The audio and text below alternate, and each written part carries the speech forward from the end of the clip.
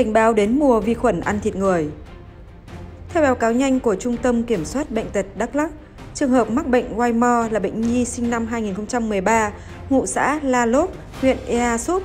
Theo Trung tâm Kiểm soát Bệnh tật Đắk Lắk, sau khi ghi nhận trường hợp mắc bệnh Waymore, Trung tâm đã phối hợp cùng các đơn vị liên quan tiến hành điều tra dịch tễ. CDC Đắk Lắk đang tiếp tục theo dõi tình hình dịch bệnh trên địa bàn và báo cáo theo quy định. Theo các chuyên gia, bệnh Waymore không lây truyền từ người sang người, hiện chưa có vaccine, do đó các biện pháp phòng bệnh chủ yếu là đảm bảo vệ sinh cá nhân, vệ sinh môi trường.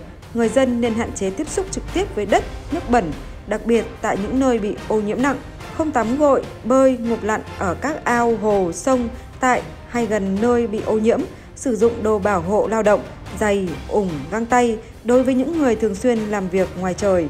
Tiếp xúc với đất, bùn và nước bẩn là biện pháp phòng bệnh hữu ích. Ngoài ra cần đảm bảo vệ sinh cá nhân, thường xuyên rửa tay với xà phòng và nước sạch, đặc biệt là trước và sau khi chế biến thức ăn, trước khi ăn, sau khi đi vệ sinh, sau khi đi làm ruộng, thực hiện ăn chín uống chín, đảm bảo vệ sinh an toàn thực phẩm. Khi có vết thương hở, vết loét hoặc vết bỏng, người dân cần tránh tiếp xúc với đất hoặc nước có khả năng bị ô nhiễm.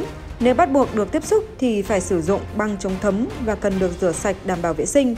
Khi nghi ngờ nhiễm bệnh, cần đến cơ sở y tế để được tư vấn, khám phát hiện và điều trị kịp thời.